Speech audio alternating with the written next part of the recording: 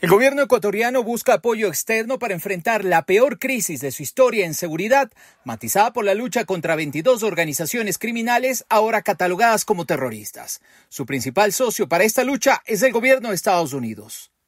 Yo creo que Estados Unidos, así mismo como el mundo, han visto lo que está pasando en el Ecuador y saben lo importante que es tener el Ecuador protegido para la paz mundial.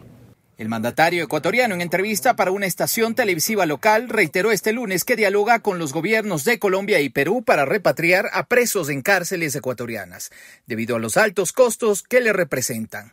Además aseveró que el país andino se ha vuelto una pieza clave dentro de las rutas de los grupos narcoterroristas. Y si logramos tener el control total aquí en el Ecuador, la región mejora.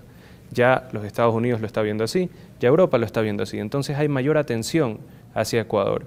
La visita estadounidense se produce horas después de que la policía ecuatoriana anunciara la captura de Carlos L., alias del gringo, líder del grupo armado colombiano Oliver Sinisterra, y la detención de 68 presuntos terroristas que pretendían atentar contra un hospital en la ciudad de Yaguachi además del hallazgo de un semisumergible con 3.2 toneladas de droga y el decomiso en la provincia de Los Ríos de otro cargamento de droga que podría marcar un récord según la versión de las Fuerzas Armadas.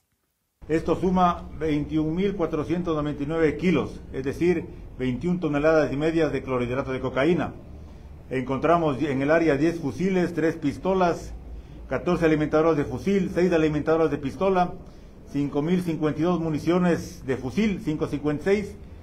En menos de dos semanas, la guerra contra el crimen organizado ha dejado al menos 2.700 detenidos, de ellos 158 por terrorismo. Néstor Aguilera, Voz de América, Quito.